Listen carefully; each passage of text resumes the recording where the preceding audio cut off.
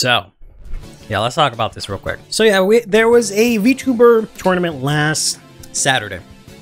Had all these VTubers you see there on the screen. Uh, I've talked about it so much, I know their names now. I was about to say I don't know any of them, but now I know their names because I've talked about it so much. This is Nova. Uh, this is Lavora. This is Miwa Bell. That's Poseidon. This is uh, Leah. And this is, I think, like Arisu. So we had Leah as the winner, which is like, yay, congrats. She, uh, she did really well. My issue with the whole thing was, so they're like you know, presumably well-known VTubers, right? They stream, they have a good audience. So this was like a good opportunity for presumably other card gamers to get experience to our game. My issue was that I, I tweeted about this also. My issue was that there were people asking in the chat, right? And they wanted to play Vanguard. They were like interested. So they asked certain questions that made me feel absolutely embarrassed. As someone that plays this game, I was so embarrassed that I was there because there were questions like, oh, hey, does your game, Cardfight Vanguard, have a simulator like Master Duel that I can play? And I and then I, as a this is in like chat, and I'm reading there, I'm just like, ah, shit. nope, we don't have any of that shit. Actually, you want to play the game? You want an easy way to play Cardfight Vanguard? Here's what you can do.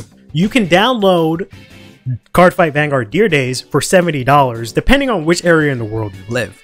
Then you can play that, whatever, to get a deck there, and then pay upwards to like $100, $200 in DLC to get the up-to-date cards.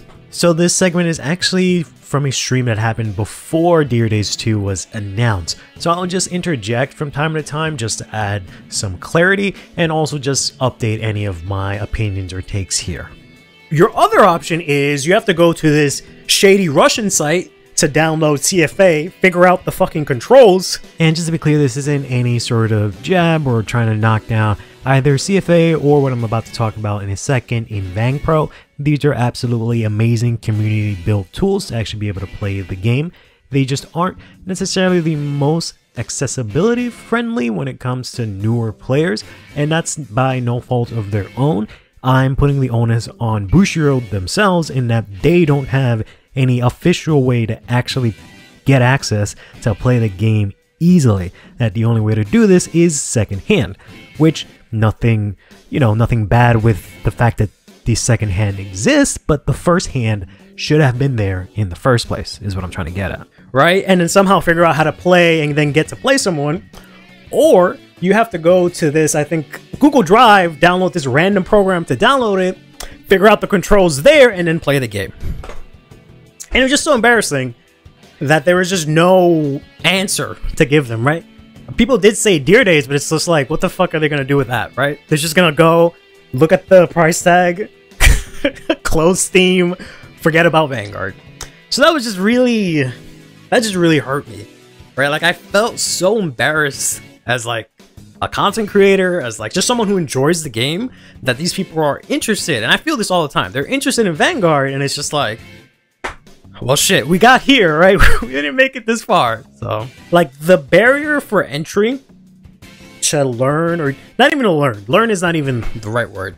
The barrier to entry to be able to play Cardfight Vanguard is just very, like, unnecessarily high, right? Like, we, and it has to be as simple as possible for someone to go and play a game, right? Like the best example I have for you is I was trying to play what is it called, Zenless Zone Saga or whatever, the the fucking ZZZ game. I, I went to go play that. Uh, I played it, whatever, and then I came back to play it the next day. It had to update. The game updated, and then it asked me for my password to log in. I didn't remember it. I instantly closed the game and then just was like, fuck it, I'm not dealing with this. And then just walked on and did something something else. You have to understand that that's kind of the experience that most people will have. Like no one wants to put in, majority of people are not going to put in the time and effort to download CFA, to fucking learn a deck, to learn the controls, right? Like no one wants to do that giant hurdle just because like afterwards the the game might be good, right? It has to be as easy and as accessible and as simple as possible. Which we just don't have anything remotely close to that. right now, which really sucks. And to add a little bit of clarity and a little bit of depth to the point I'm trying to make here is that in order for you to be able to get someone into Cardfight Vanguard, the barrier for entry has to be as small and as low as possible. Me telling someone to go download a game that's 10 or something gigabytes that costs them $70 and then have them grind through the game to get a deck that they want and also pay $20 for DLC is not something that someone wants to do if they're just mildly interested in a game. People that are mildly interested don't really want to download something like CFA or Vang Pro and then have to build a deck or find a deck on their own, and then also have to figure out the controls and then find someone to play with them, and then have to go through some other tutorial or something like that on their own. If they have someone alongside them to walk them through it or whatever, that's fine. That's a different case. But if someone is on their own discovering the game and decide to look into it, there is really no easy way for them to jump into the game and get a taste for the game other than maybe maybe checking out a YouTube video or something like that, but there's no real hands-on approach. The closest thing we have is the Dear Days demo, and that's about it. And that's really a tutorial, if anything, and isn't as easily accessible as something like an app they can download on their phone, much like you can do with like a Duel Links, or you can do with something like the Pokemon TCG Live app, or I believe even the Digimon game has an app that you can download to learn and play the game and do some test hands in. If someone wanted to play the ZZZ game that I mentioned in this video, they can very easily look it up, download it, and instantly play the game and experience it for themselves, and either continue playing it if they want to or not. If someone hears Cardfight Vanguard from what I've been talking about in this video, they will Google the game and find that they will either have to buy a bunch of different cards or go to a local shop, buy cards and play there, or they'll have to go and maybe download Dear Days. And that's a bit too much of a barrier for entry for these games, and I feel like we have to find a way to lower that, or I guess not me or we specifically, but the company themselves. It, it's just, it's just really annoying. And then to top it all off, right, they hit on the the other the second thing, right? They were asking like, oh, okay, good. And I get this question all the time. What's a good entry product? I'm just like, oh my gosh. Cause then they start talking about like, oh yeah, there's this like these quick start decks or whatever, and they start asking questions about it. I'm just like, oh my fucking god. quick start decks, huh? Yeah, that that's great. Cause they're gonna come from Yu-Gi-Oh! World where they have structure decks that are ready to play that cost the same as our quick start decks that just have no effects. Thankfully, yes, the Varillo deck, the Virginia deck, whatever, that's to be good, right?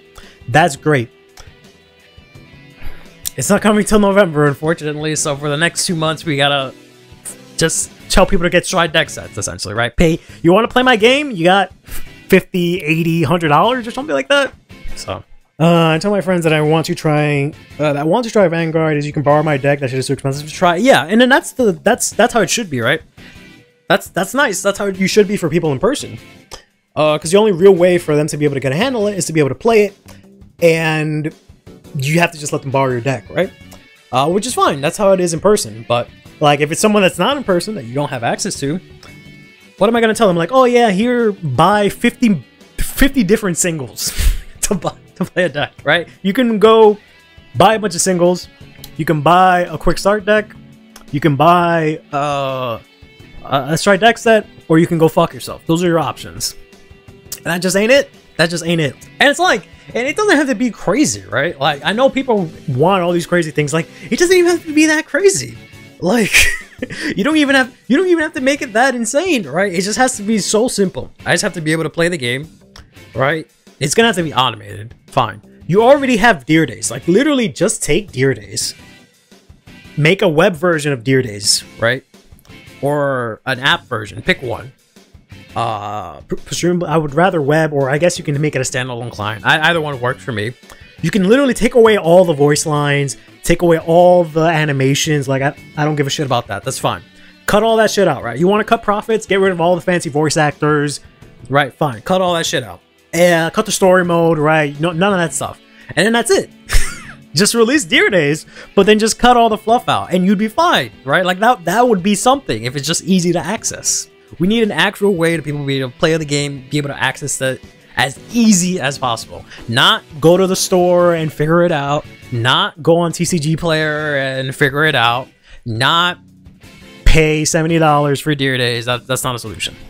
So while going to your local game store and supporting them is great and all, unfortunately, a lot of stores do not support Vanguard, and even those that actually do, once you finally find one that actually does, you're not going to be able to find really any easy products for beginners there because it'll either be the original start decks from when Overdress released, which were good for the time but are kind of outdated, but at least there is that if it's actually available, but this was out three to four years ago at this point or they have the quick start decks, which is the newer version of that, which are completely useless due to the fact that none of the cards actually have effects. So it'll just give a really bad and poor representation of the actual game that they're trying to play.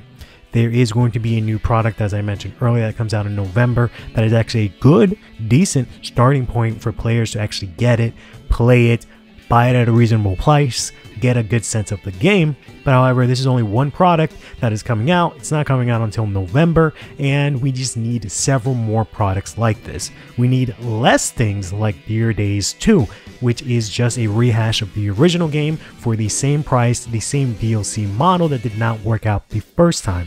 The options here are either to release Dear Days as a free to play game so people can actually access the game and be able to play it, or if you want to go with the current model, you have to realize that Vanguard is a very niche game and charging the same price as a AAA game for a niche card game is ridiculous and you have to apply that same principle to the DLC. You also, if you want to have DLC, you can go the more cosmetic route, which will earn you so much more money. So many players would much rather pay money for something like cool skins, different card art, different cosmetic options at a reasonable price than they would the actual ability to play their game that they want to play. Uh, so we should get decks like Orphis, Gram, Fav, like biannually so there's always an entry level product not hot ad. Exactly. Why aren't they doing this? Like, they could very easily take. They have so many decks that they don't want to support. Fine, fuck them. Don't support them. Barrel Magus, fuck that guy. Don't support him in the main set. Just give him a stand-up trial deck. Give him like two cards. Fine. Bavsargra, you don't give a shit about her? Fuck off then! Just make a fucking stand-up fucking product with sleeves. That'll sell. It'll sell so easily. Just give her like two new cards that actually do something, and that's it. Problem solved. I don't I don't understand. Why why make a hundred ride lines if you're not gonna like sell them as deck products, man? Granfia?